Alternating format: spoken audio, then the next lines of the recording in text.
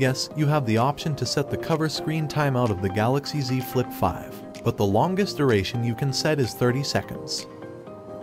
I'm going to show you that there's a way to make it slightly, yes, slightly longer. First, you'll need to install the Cover Screen OS app. This is an app that allows more customization on the Galaxy Z Flip phone cover screen. Once you've installed the app and allowed all the necessary permissions, as I've done previously, go to Settings and then Screen Timeout Duration. Something longer than 30 seconds would be either 45 seconds or 60 seconds. I will pick 60 seconds in this case. Let's get to the cover screen and test out the display timeout. Let's unlock the phone, and the clock will start counting. As I said, it only lets you set a timeout duration slightly longer than 30 seconds, so if you're cool with 60 seconds, you can give the app a try. Also, check out the tutorial to find out how the Cover Screen OS app works.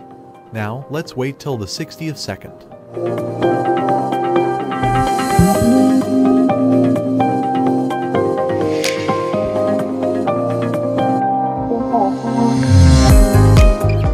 Clearly, it's now more than 30 seconds, and the screen is still on. Let's wait for another 30 seconds.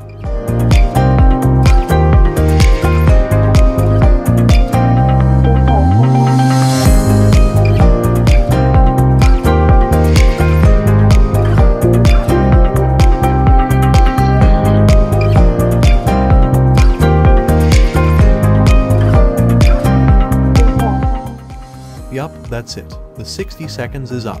The Cover Screen OS app indeed extends the cover screen timeout a little bit longer. Give it a try.